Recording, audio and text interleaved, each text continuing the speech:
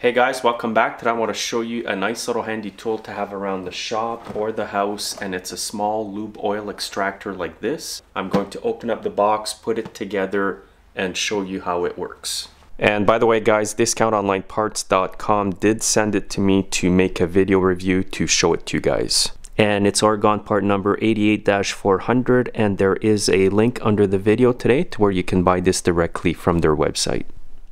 It has a lot of uses, including oil and other liquids. It mentions here that you can also use it to remove bilge water from boats, trapped water in plumbing systems.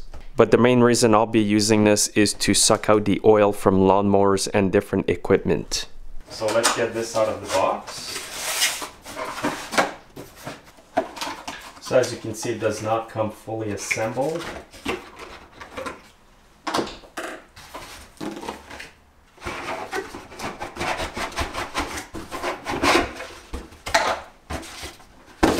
And here's a quick view of all the parts you get with it. You get the spout, the handle, the pump, the hose, and the unit itself.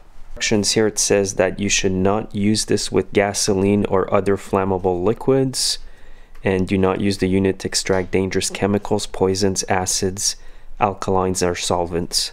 And also it's not designed to store the liquid that you suck out of equipment for a long time and do not store it under extreme conditions which could be really hot or really cold and don't modify the unit. And the capacity of this container is six liters so it's about a gallon and a half. And now what I'll do is just show you how to put it together for your first use. To start with I'm going to grab the handle and screw it onto the pump here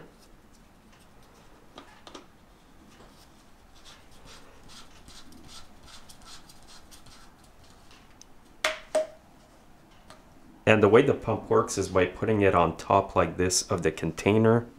And then when you pump it, it will actually suck from here with the attachments provided. So to do that, just remove this red cap over here. And there's no threads on here, it just basically gets put on here tightly. You just push it down like this and it's on there tight.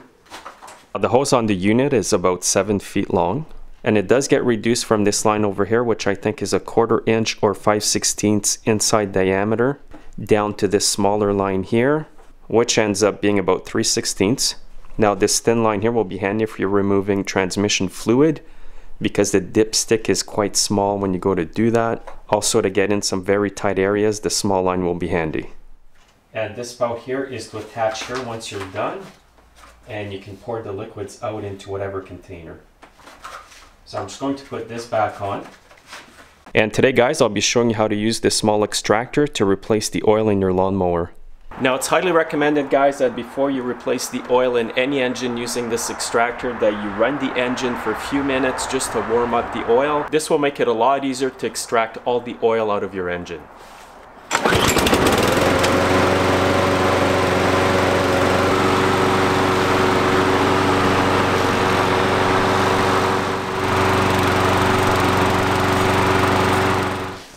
Now to extract the oil, make sure the pump is on the container tightly like this.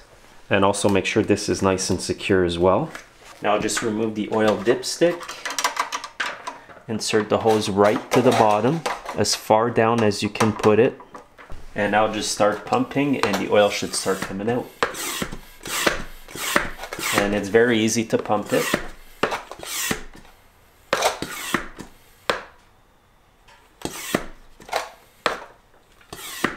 And you can see the oil coming in. So pump it quite a few times, let it sit, it's going to extract all the oil from the engine. This may take a few minutes. And you can hear the oil going into the container there. And again, it's quite important to run the lawnmower for a few minutes before you do this, just so that the oil is warm and easier to extract. And you can give it a few more pumps during the process.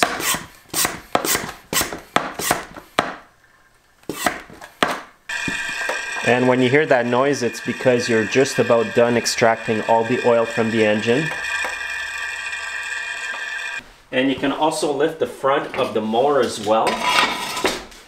This will bring all the oil that's left in the engine totally to the back where the hose is. Give it a few more pumps.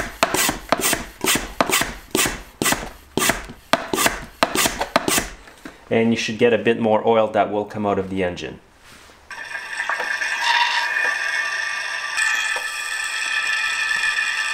Now when you're done, just simply bring the mower back down. Have a rag ready when you remove the hose. Now add some new oil in your mower. I'm using 10W30 today. And you're going to need approximately half a liter.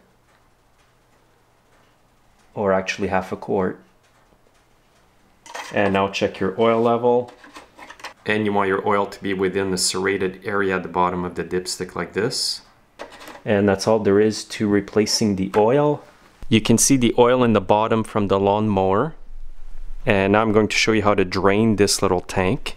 Now if you want to get the rest of the oil from the hose down into the tank, you can hang up the hose up for a while. It's all going to drain into the tank. So at this point I'm not going to wait, so I'm just going to unplug it. I'm going to take the pump off as well. And I'm going to put the spout on there. And I'm just going to dump the oil in my waste container. Now if you want the extractor to be completely drained, you can let it sit like this upside down. Eventually it will completely empty itself. But since I'll be using this extractor mainly to remove engine oil, I don't really care if there is a bit of oil left inside. Just a quick tip here guys, if you are putting the line away here with a bit of oil in it, you may want to have a rag sitting underneath the ends of the line because there will be a bit of oil that will come out. And here's another quick view of this extractor. I would say guys that this is not an industrial extractor. I'm only going to be using this when I do mobile calls, which is not very often. But for the homeowner and the moderate user, it's going to be a great little tool to have around the house. So thanks again for watching guys. If you do want to buy this extractor, the link is under the video. Also make sure to follow me on Facebook, Instagram, and Twitter, and have yourselves a great day.